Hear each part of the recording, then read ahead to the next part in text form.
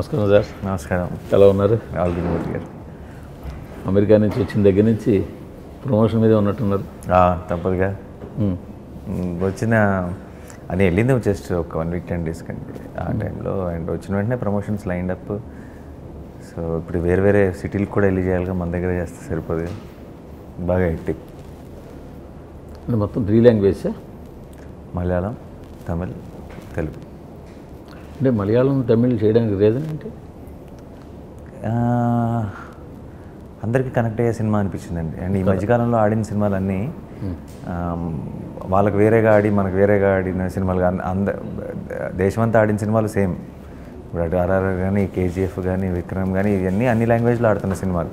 So అన్ని చోట్ల ఒక రిలీఫ్కి ఒక మంచి ఒక ఒక హ్యాపీ ఎనర్జీకి చాలా అవసరం ఉందని అనిపించింది. అంటే ఇప్పుడు ఇప్పుడు ఒక సటిల్ ఫిల్మ్ ఒక చాలా ఎంటర్టైనింగ్ ఫిల్మ్ని ఎవరైనా సరే ఎంజాయ్ ఒక ఇలాంటి ఒక సినిమా కోసం వెయిట్ చేస్తున్నారేమో అని అనిపించింది. కొన్ని అన్ని హెవీ హెవీ ఫిల్మ్స్ కదా యాక్షన్ ఫిల్మ్స్ అంతా. సో ఈ సినిమా అన్ని లాంగ్వేజ్లో బాగుంటుందని నమ్మకం వచ్చింది. ప్లస్ కథ ఐడియా కూడా బాగా నేటివ్గా తెలుగు మాత్రమే కనెక్ట్ అయ్యే ఎలిమెంట్ కాదు. అందరికీ కనెక్ట్ అయ్యే ఒక ఎలిమెంట్. సో ఇలాంటి ఫిల్మ్ ఉన్నప్పుడు చేతిలో దాన్ని చేయకపోతే ఎలా అనిపించింది? అంటే ఈ యాక్షన్ సినిమాలు ఎమోషనల్ సినిమాలు ఈ జానర్ ఏ లాంగ్వేజ్ కన్నా ఇంచుమించుగా ఒకలాగే కనెక్ట్ అవుతుంటాయి.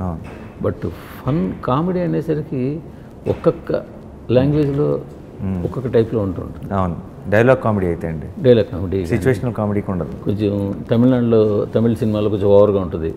డైలాగ్ కామెడీ తక్కువ ఉంటుంది. ఇప్పుడు మనకి మన కామెడీస్ కూడా మన డైలాగ్ కామెడీ ఉన్నప్పుడు ఏంటంటే డైలాగ్కి కా డైలాగ్ రాసినప్పుడు ఆ లెంత్కి మ్యాచ్ చేయడానికి డబ్బింగ్లో రాసినప్పుడు ఇక్కడ డైలాగ్లో ఉన్న కామెడీ అక్కడ మిస్ అయిపోతుంది. అంటే సుందరానికి డైలాగ్ కామెడీ కాదు. సిచ్యువేషనల్ హ్యూమర్ మీరు చాలా చోట్ల మీరు సినిమాలో పెద్ద డైలాగులు ఏం జరగవు. మీరు జరుగు మీరు జస్ట్ ఆ పాత్రలను చూస్తూ అక్కడ జరుగుతున్న సిచ్యువేషన్కి నవ్వుకుంటారు. సిచ్యువేషన్కి భాష ఏముంటుంది? So it's a perfect film అనిపించింది. సో అందువల్ల కామెడీ అక్కడ కూడా వర్క్. మ్మ్. అంతేనా? హీరోయిన్కి తమిళ్ళో మలయాళంలో బాగా లేదండి అసలు ఏం అది కూడా ఒక రీజన్ అనుకోవచ్చా? నాట్ ఎట్ ఆల్ ఎవరు ఎవరు రోల్ చేసినా సరే ఈ సినిమాని మలయాళం తమిళ్ళో. డెఫినెట్గా it's an added advantage Nazriya బాగా పరిచయం ఉండటం మలయాళంలో అయితే తన లాంగ్వేజే అండ్ తమిళ్ళో కూడా తను బాగా తెలుసు రాజారాణి ఇవన్నీ అన్ని. సో అది యాడెడ్ అడ్వాంటేజ్ డెఫినెట్గా బట్ అక్కడ రిలీజ్ చేద్దాం అనుకోవడానికి అది కారణం అంటే సరే ఆర్ఆర్ఆర్ కేజీఎఫ్ టూ ఇలా ఆ, పుష్ప ఇలా కొన్ని అన్ని లాంగ్వేజ్లో కూడా ఆడి ఉంటే ఉండొచ్చు. బట్ దాన్ని చూసి చేస్తున్న మిగతా సినిమాలకి ఆ విధంగా వర్కౌట్ అవ్వట్లేదు గమనిస్తూ ఒక్కొక్క సినిమాకి ఒక స్ట్రెంత్ అండి. ఇప్పుడు అంటే సుందరానికి ఇలాంటి లైట్ హార్టెడ్ ఫిల్మ్ ఆ ఫిల్మ్ ఆర్ఆర్ఆర్ లాంటి హైప్డ్ అప్ హ్యూజ్ ఫిల్మ్స్కి కేజీఎఫ్ లాంటి ఫిల్మ్స్ లాగా చేయాలని ఎవరు కోరుకోవట్లేదు. బాగా అంటే సుందరానికి లాగా చాలా ఒక మంచి ఒక హ్యాపీ లైట్ హార్టెడ్ సినిమా ఎలా చేస్తే బాగుంటుందో అంత చేస్తే చాలు. ఎందుకంటే మనం చాలా చేసేది ఈ మధ్యన ఇప్పుడు లేటెస్ట్గా చూస్తే విక్రము మేజర్. అవును. ఇవి కూడా అవును. మంచి సినిమాలు అయ్యుండి అవును. బట్ వేరే లాంగ్వేజ్కి వెళ్ళేసరికి డిపెండ్స్ ఆన్ ద ఐడియా అండి. అంటే డిపెండ్ కొన్ని కొన్ని కనెక్ట్ అవుతాయి. కొన్ని కొన్ని కాన్సెప్ట్స్ కనెక్ట్ అవుతాయి. కొన్ని కొన్ని కాన్సెప్ట్స్ కనెక్ట్ అవ్వవు. సో మనకి ఎంటర్టైన్మెంట్కి వాళ్ళు కూడా కనెక్ట్ అవ్వాలని అనుకున్నాం ఆ, అవుతారని నమ్మకం ఉందండి. బట్ ఐఎమ్ షూర్ ఇప్పుడు మిగతా మీరు చెప్పిన పేర్లు కూడా అందరూ కనెక్ట్ అవుతారని చేస్తాం. ఒకటి క్లిక్ అవుతుంది అంతే. అంటే యూజువల్గా ఇప్పటిదాకా ట్రైలర్లో చూసుకుంటే ఇంతవరకు మీరు విడుదల చేసిన మెటీరియల్తో చూసుకుంటే ఒక రెండు మతాలకు చెందిన అమ్మాయి అబ్బాయి. ప్రేమించుకుని పెళ్ళి సో ఈ పాయింట్ అయితే మన ఏ లాంగ్వేజ్ సినిమాకి కొత్త కాదు. అవును. ఎప్పుడో సీతాకోక చిలుక నుంచి అవును. మొన్న హిమాయ చేసే వరకు కూడా. ఈ పాయింట్ మేము డిస్కస్ చేసాం అవును. సో అంతకు మించి ఏముంది సినిమాలో? ఈ మనం రెండు వేల ఇరవై రెండులో ఉన్నామండి. అంటే అన్ని లాంగ్వేజ్లో కొన్ని వేల సినిమాలు వచ్చినాయి. కొత్త పాయింట్లు ఉండవండి ఇక్కడ. ఏ సినిమా అయినా సరే ఎగ్జిక్యూషన్ ఎంత బాగుంది మనం ఎంత ఎంటర్టైన్ అయ్యాం సినిమాకి వెళ్ళి ఎంజాయ్ చేసామా లేదా ఇది మాత్రమే. కొత్త పాయింట్ అని ఇప్పుడు ఆర్ఆర్ఆర్ ఉంది. దేశభక్తి కొత్త అని అంటామా? అనలేం కదా. బేసిక్గా ఎదురు తిరగటం బ్రిటిష్ వాళ్ళకి. కొత్త అంటారా? కొత్త కాదు. ఎందుకు ఎంజాయ్ చేస్తాం థియేటర్లో ఎందుకంటే గ్రిప్పింగ్గా ఉంది కాబట్టి. ఎగ్జిక్యూషన్ ఎగ్జిక్యూషన్ ఏ సినిమా అయినా అంతే. ఇప్పుడు ప్రపంచం వ్యాప్తంగా ప్రతి సినిమా ప్రతి ఇండస్ట్రీలో కొన్ని లక్షల సినిమాలు వచ్చేసిన తర్వాత కొత్త పాయింట్ ఎక్కడి నుంచి రాదు. ఎక్కడో ఒక సైడ్ నుంచి ఒక ఒక పాయింట్ తీసుకొని దాన్ని మనం ఎంత కొత్తగా ప్రజెంట్ చేసాం అన్నది ఇంపార్టెంట్. అండ్ ఈ సినిమాకి కూడా అంటే సుందరానికి మీరు అంటున్న ఇంటర్ఫేత్ మ్యారేజ్ అన్నది కాదు మెయిన్ పాయింట్. అది చిన్న సబ్ప్లాట్ అది. కానీ అది మాత్రమే మేము రివీల్ చేయగలం ప్రస్తుతానికి. అదే నేను అందుకనే ముందు అన్నాను. ఇంతవరకు మీరు విడుదల చేసిన మెటీరియల్ బట్టి అదే అన్న అదే అన్న. సో అది మాత్రం రివీల్ చేసాం ప్రస్తుతానికి డెఫినెట్గా బట్ ఎంటర్టైన్మెంట్ ఇప్పుడు జనరల్గా ఇప్పుడు మీరు అంటున్న ఇంటర్ఫేత్ ఐడియాని ఎప్పుడు ఎలా డీల్ చేశారు? మరో చరిత్ర కానీ ఒక ఆ, ఏదో సీతాకోక చిలక్ కానీ ఇవన్నీ చాలా ఇంటెన్స్ సినిమాలు. ఆ ప్రాబ్లం మీద దాన్ని ఎలా పర్సీవ్ చేస్తారు? సొసైటీ ఎలా పర్సీవ్ చేస్తారు? ప్రాబ్లం మీద చాలా ఇంటెన్స్గా డీల్ చేశారు. ఇక్కడ అసలు ప్రాబ్లం మీద కాదు. ఈ మనుషుల మీద సినిమా ఇది. ఇది వాళ్ళకున్న రిలీజియన్ డిఫరెన్సెస్ మీద రిలీజియన్ గురించి ప్రీచింగ్ స్పీచెస్ అలాంటివి ఏమీ లేవు. సరదాగా సినిమా అంతా నవ్వుకుంటూ చూసే సినిమా. ఐ థింక్ ఇలాంటి ఒక ఎలిమెంట్ని ఇలాంటి ఒక బ్రాకెట్లో అసలు ఎవరూ డీల్ చేయలేరు. అది మీకు సినిమా చూస్తే అర్థమైపోతుంది.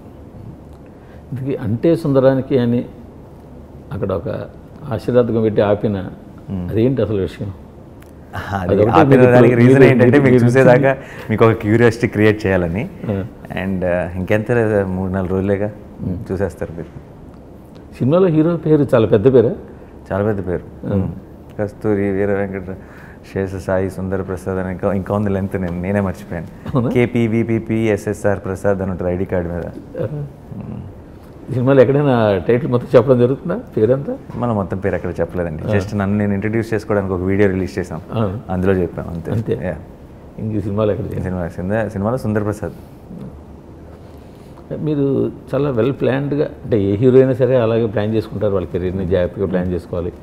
ఈ జానర్ ఈ జానర్ చేసాం ఇప్పుడు ఇచ్చేద్దాం ఇచ్చేద్దాం అని చెప్పి. సో రీసెంట్ టైంలో మీరు ఇంకా ఎక్కువ కేర్ తీసుకుంటూ చేస్తున్నట్టు కనిపిస్తుంది నిజమేనా?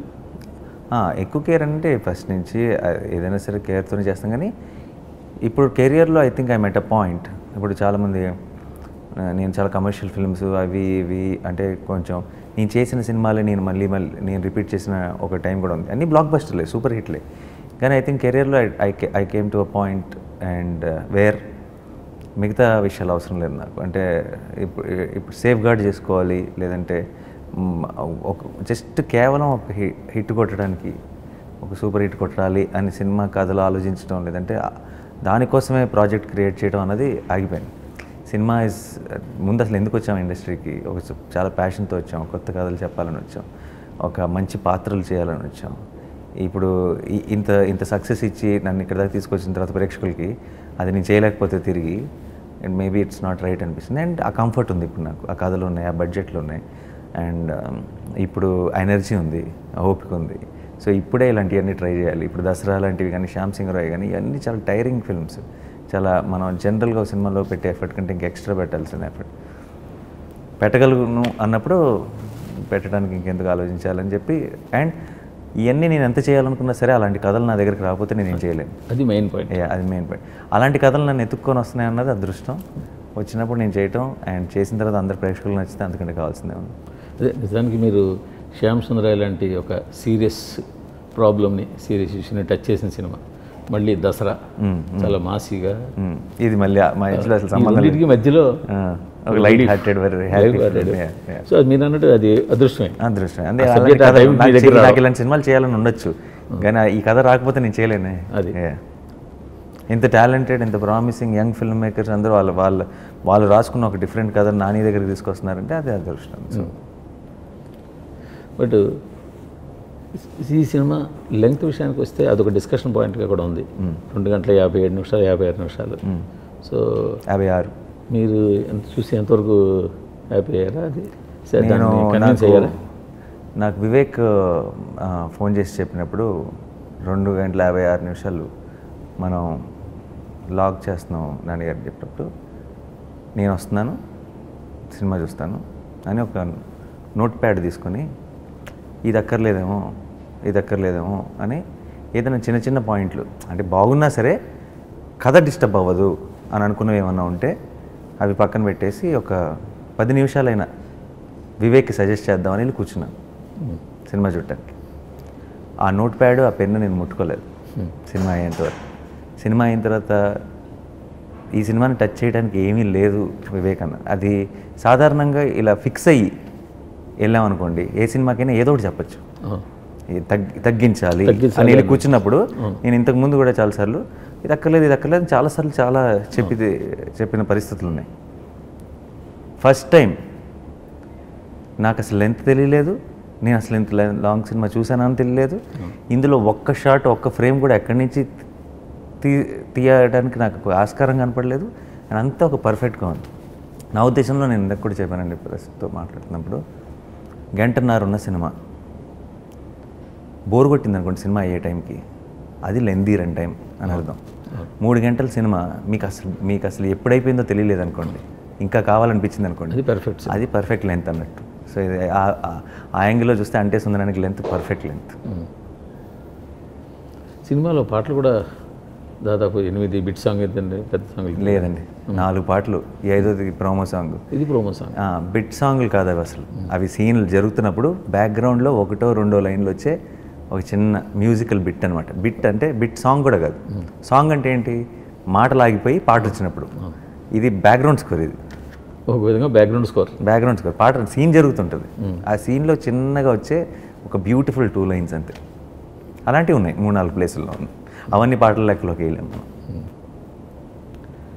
శ్యామ్ సింగరే తర్వాత మీకు అంటే ఇంకేమైనా మనం ఎలా చేయాలి.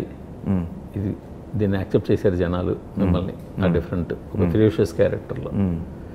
సో ఆ యాంగిల్లో ఆలోచించి దసరా చేస్తున్నారా? లేదండి అది నాకు ముందే తెలుసు. ఎనీథింగ్ ఏదైనా సరే మనం ప్రూవ్ చేసుకునేంత వరకు అది మనం చేయలేము ప్రూవ్ చేసుకున్న తర్వాత అది చేయగలం అన్నది ప్రేక్షకులు అంటారు. ప్రేక్షకులు అనకముందే డిసైడ్ అవ్వాల్సింది మనం. మనం చేస్తున్నామా?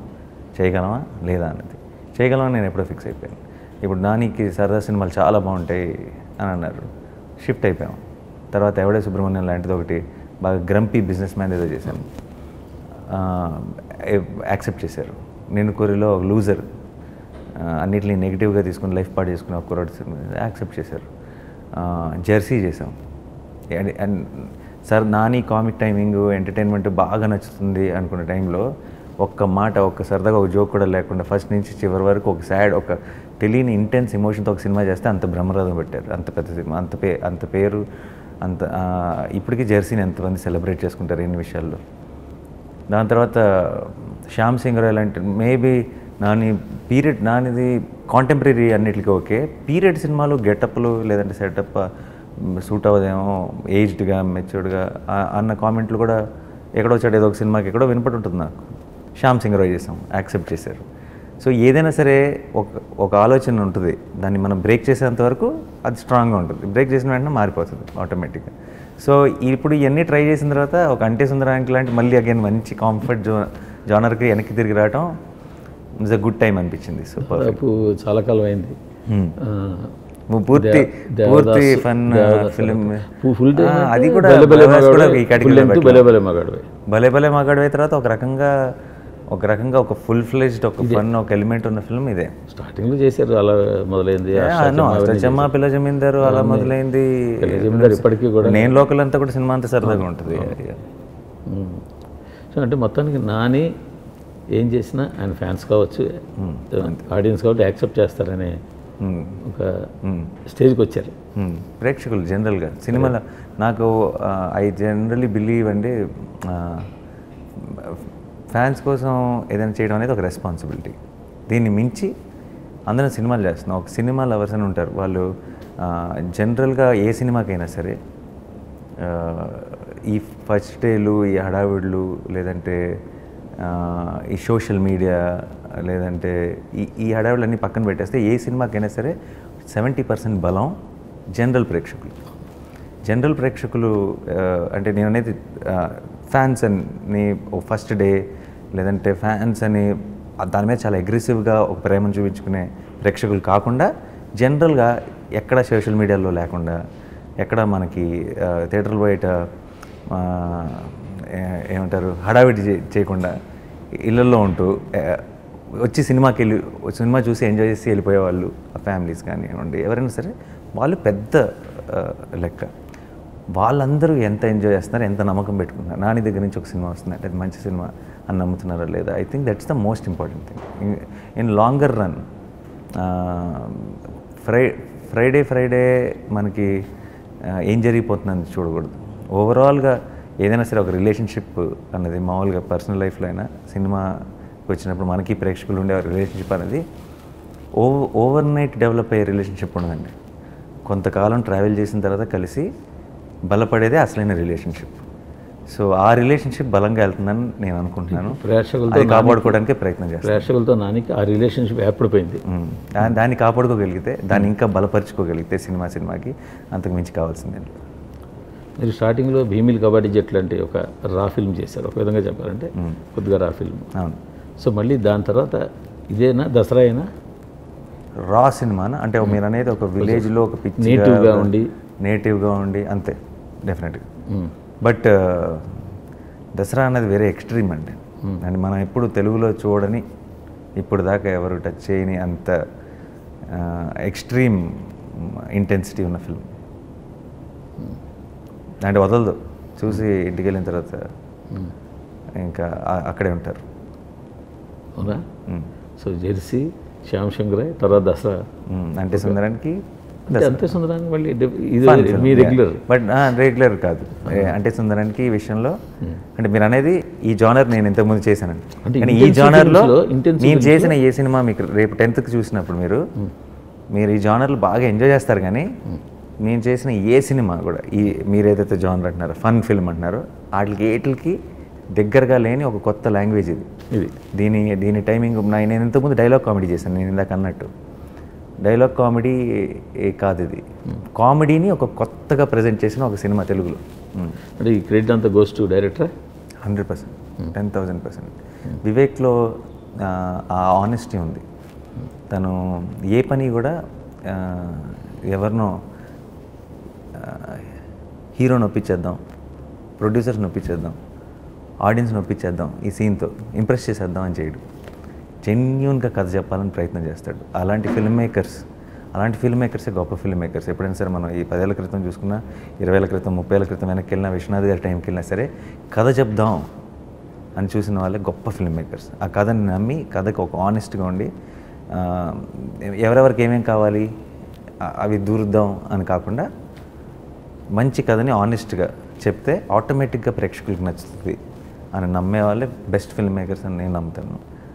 Vivek falls under that category but మీ సినిమాలన్నీ కూడా మంచి సాంగ్స్ ఉంటాయి.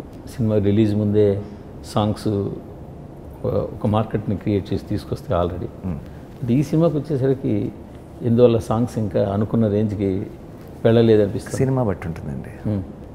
ఇప్పుడు ఎం- ఇప్పుడు ఒక ఒక ఒక జస్ట్ ఒక హీరో సాంగ్ ఎనర్జెటిక్గా ఉంది. అది ఆటోమేటిక్గా మీరు సినిమా చూడకపోయినా ఎక్కేస్తుంది. మీకు ఇప్పుడు ఒక ఎంసీఏ ఉంది. ఏమండో నాని గారు చెప్పండో చిన్న గారు బ్లాక్ బస్టర్ అయిపోతుంది పాట. ఎందుకంటే కథతో సంబంధం లేదు. అది ఎలా వస్తుంది సినిమాలో? ఏదో సీన్ జరుగుతుంది. హీరో హీరోయిన్ మాట్లాడుకున్నారు పాట వస్తుంది. ఈ పాటకి మీకు ఆ సీన్ తెలి- తెలియాల్సిన అవసరం లేదు. మీకు ఆ కథ తెలియాల్సిన అవసరం లేదు.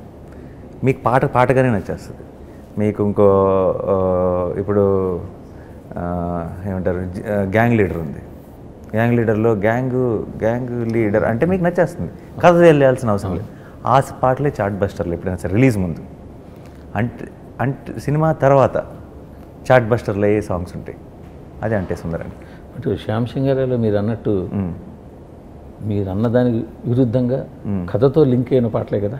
కథతో లింక్ అయిన పాటలు. కానీ కథలో ఇప్పుడు శ్యామ్ సింగ్ రాయ్ అన్న పాట ఉంది.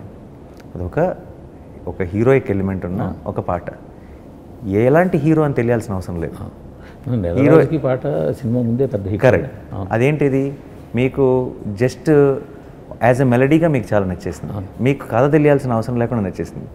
అంటే సుందరానికిలో ప్రతి మాటని ఎలివేట్ చేసే లైనే ఒక మ్యూజిక్కే చేసేది తప్పితే జనరల్గా బాగుండేది చేయరు అంటే ఎలా చెప్పాలి? ఇప్పుడు మన మిక్కీ జే మేయర్ చేసింది కూడా అదే. కానీ అదృష్టం ఏంటంటే ఆ, సినిమాకి వచ్చేటప్పటికి అది కథకి ఎగ్జాక్ట్గా ఉన్నాయి. సినిమా మీకు యాక్చువల్లీ నెలరాజుకి ఈ పాట ఉంది కదా మన సిరివెన్నెల సాంగ్ ఉంది కదా. ఈ పాటలన్నీ కూడా ఈ రోజు మనం మాట్లాడుకుంటున్నాం కాబట్టి ఏది శ్యామ్ సింగ్ రాయ్ రిలీజ్ అయిన ఐదారు నెలలకు మాట్లాడుకుంటున్నాం కాబట్టి ఇవి పెద్ద హిట్లుగా కన్సిడర్ చేస్తున్నాం. శ్యామ్ సింగ్ రాయ్ రిలీజ్ అయ్యే మూడు రోజుల ముందు ఓకే ఆల్బమే. మీకు అర్థమైందా? నేను చెప్- చెప్తుంది. అప్పటికి మనకి ఈ రోజు ఉంది చూసారా? శ్యామ్ సింగ్ రాయ్ ఆల్బమ్ మీద ఒక ఒపీనియన్ సినిమా రిలీజ్ అయ్యే నాలుగు రోజుల ముందు శ్యామ్ సింగ్ రాయ్ రిలీజ్ అయ్యే నాలుగు రోజుల ముందు చార్ట్ బస్టర్ సాంగ్స్ ఆల్బమ్ ఏం కాదు. మనకి ఏంటంటే రిలీజ్ అయిపోయిన తర్వాత మనకి ఇంకా ఇంకా ఇంకా నచ్చేసి ఇంకా ఎక్కేసి ఈరోజు మనం ఏమనుకుంటాం అంటే శ్యామ్ సింగ్ రాయ్ పాటలు అద్భుతం అని అనుకుంటున్నాం మనం. అంటే దసరా టైంకి ఈ ఆల్బమ్ గురించి ద- దసరా టైంకి అంటే సుందరానికి పాటల గురించి ఇంకా much much more clear. Yeah. ఎందుకంటే ఇవాళ మీరు ఇప్పుడు ప్రోమో సాంగ్ రిలీజ్ చేశారు. రిలీజ్ చేసిన తర్వాత ఆ పాటలు వింటున్న సోషల్ మీడియా. నెట్వర్క్ చేసేవాళ్ళ కామెంట్స్ చూస్తే ఈ సినిమాలో ఇప్పటిదాకా వచ్చిన పాటలు ఇదే బెస్ట్ సాంగ్ ఇదే బాగుంది. ఇప్పుడు మీరు అంటున్నది అదే సినిమాతో సంబంధం లేకుండా కరెక్ట్గా ప్రోమో సాంగ్ వచ్చింది. మేముంది ఎనర్జీ నింపేశాం. ప్రేక్షకులు ఏం కావాలో అది చేస్తాం ప్రోమో సాంగ్లో. వినటానికి ఏం బాగుంటుందో.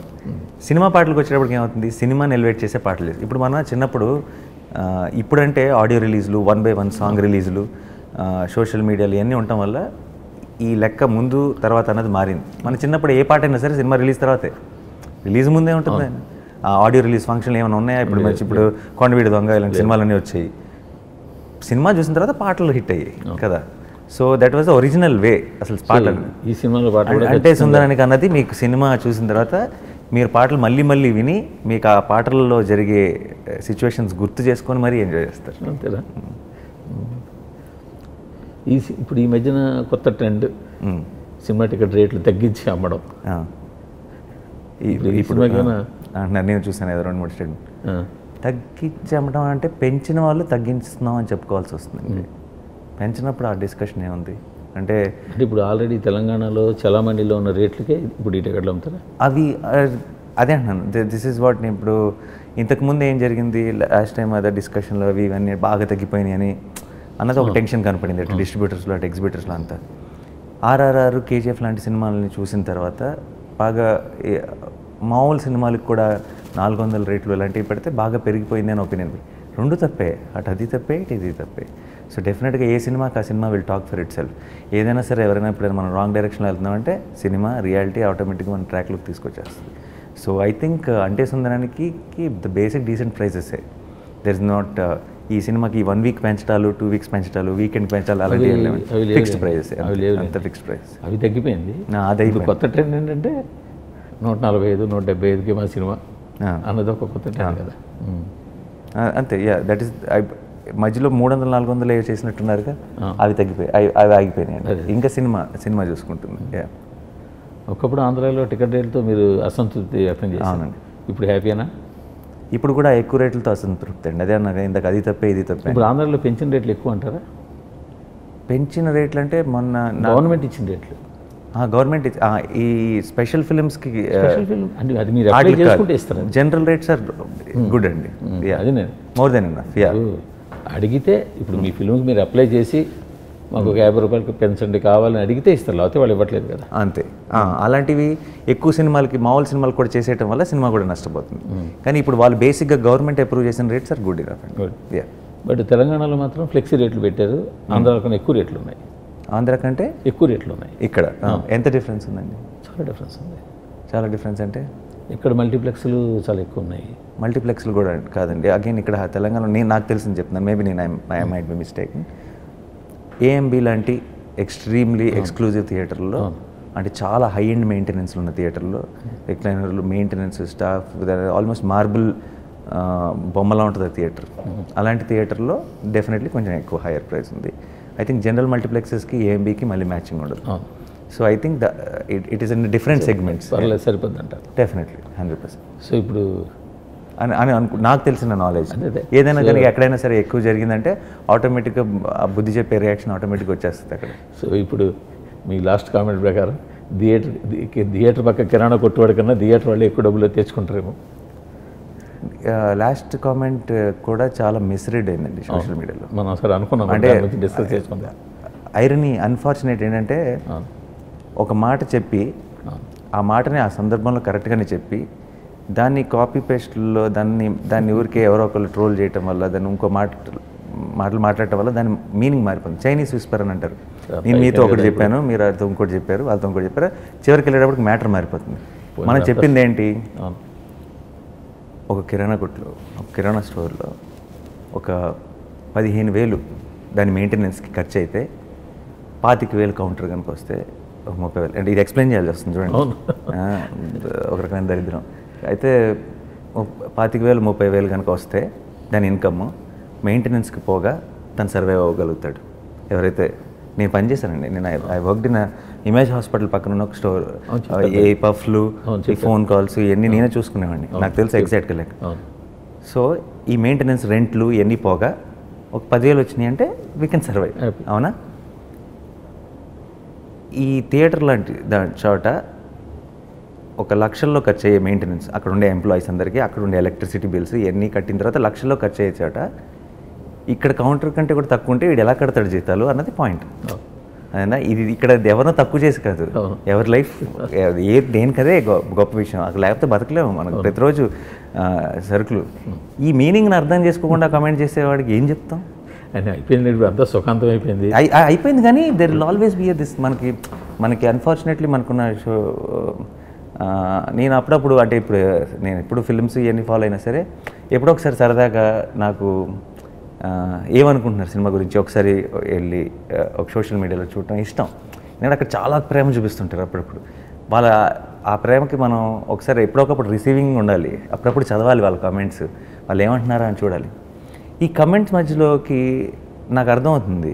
సార్ ఊరికే ఒక నెగిటివిటీ క్రియేట్ చేద్దామని ఏమన్నానో తెలియకుండా ఏం మాట్లాడానో తెలియకుండా వచ్చేదో ఒక మాట మాట్లాడేసి నాని కిరాణా స్టోర్ అన్నాడని అదని ఒక ఒక నెగిటివ్ బిల్డ్ చేసే ఒక ఒక క్యాంప్ ఒక బ్యాచ్ అయిపోయి నాని విషయంలోనే కాదు.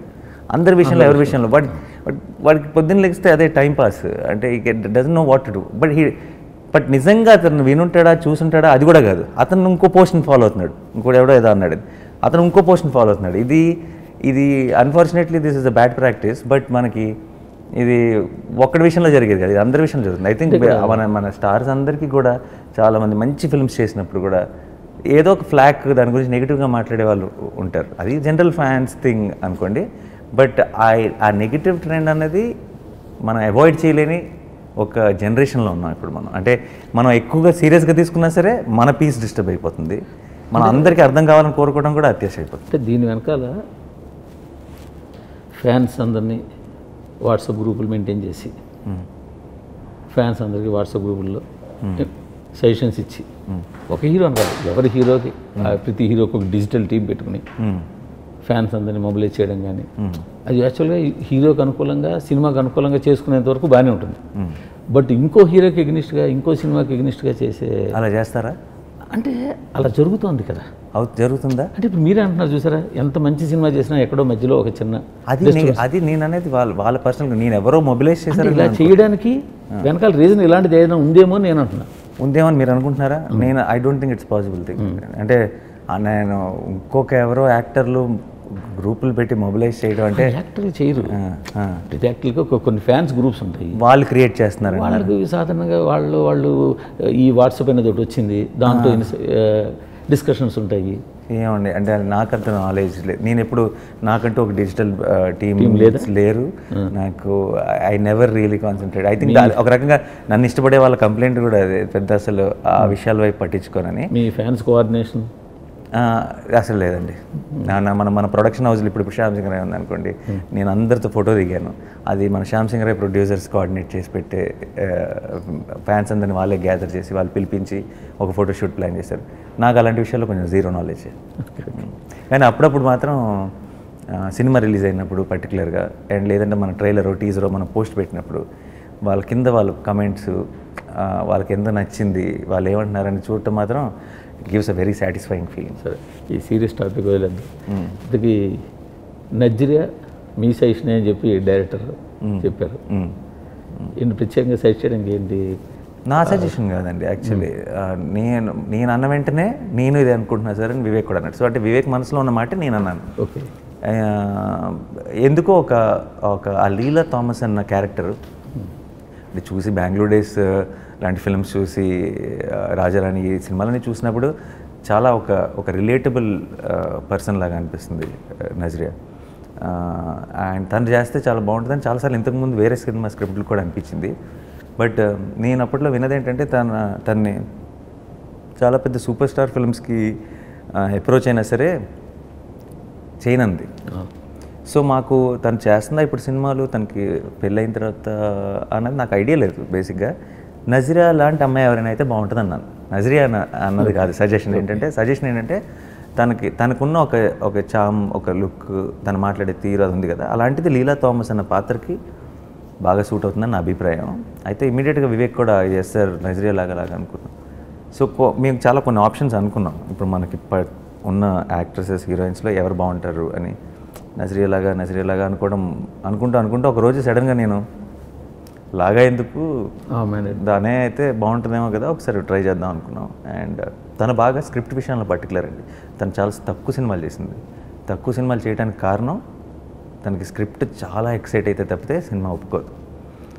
సో కథ చెప్పించడం కథ పిచ్చి పిచ్చిగా నచ్చేసి తనకి ఇమీడియట్గా ఓకే చేయడం అని జరిగింది సో మీ అంచనా కరెక్ట్ ఆ క్యారెక్టర్కి పర్ఫెక్ట్ ఫిట్ అనిపించింది. నేను నా విషయం నేను చెప్పాలంటే అదిరిపోయింది. అదిరిపోయింది? మీరు ఎలాగో ఇంకో మూడు రోజుల్లో చూస్తారు కాబట్టి మీకు ఆల్రెడీ పబ్లిసిటీ ఇప్పుడు వదిలిన మెటీరియల్ అన్నింటిలో చూస్తే మీ పేరు. చాలా యా చాలా పాజిటివ్ ఫస్ట్ అనౌన్స్ చేసినప్పుడే నన్ను యాక్చువల్లీ నజరే ఫోన్ చేసి అడిగింది ఏంటి ఇంత రెస్ప నేను I never done a film in Telugu నేను ఎప్పుడు తెలుగులో సినిమా చేయలేదు. అండ్ కామెంట్లు అందరూ మేము ఫస్ట్లో అనౌన్స్ చేసినప్పుడే ఈ కాంబినేషన్ కోసం వెయిట్ చేస్తున్నాం అని పెట్టారు చాలామంది. సో తను షాక్ అయింది. వెయిట్ చేయటం ఏంటి? అసలు నేను ఎప్పుడు సినిమాయే చేయలేదు. వాళ్ళు ఎలా అనుకున్నారు ఏంటి అని. బట్ తెలుగు ప్రేక్షకులు చూపిస్తున్న కైండ్ ఆఫ్ లవ్ షీఈ్ ఓవర్వెల్మ్డ్ అంటే ఎవ్రీడే ఇంత అసలు నేను ఎప్పుడు ఏమీ చేయకుండా ఇంత ప్రేమ చూపిస్తున్నారు ఏంటనే తను ఎప్పుడు అంటుంటుంది. So it's so Nani Sai Pallavi ఇప్పటికి ఎవరు మీ ఫ్యాన్స్ కానీ జనరల్ ఫ్యాన్స్ కానీ మర్చిపోలేని పేరు. మళ్ళీ అలాంటి పేరు ఇంకోటి మీ నుంచి వస్తుంది. జరగాలని కోరుకుంటున్నాను. సో ఎన్టీ సుందరానికి ఖచ్చితంగా బ్లాక్ బస్టర్ అవ్వాలి? అవుతుందని. అంటే అవ్వాల్సిన అవ్వడానికి కావాల్సినవన్నీ సమకూర్చేసాను కూడా చెప్పారు కదా మేము బ్లాక్ బస్టర్ తీసేసామని చెప్పారు అనౌన్స్ చేశారు. ఇంక మరి రెండో. మాట లేదు. Yeah. సో బ్లాక్ బస్టర్ అయింది. సో ఇది బ్లాక్ బస్టర్ అయిపోయింది కాబట్టి మేము దసరా కోసం వెయిట్ చేస్తాం. All the best sir thank you thank you thank you Murthy garu.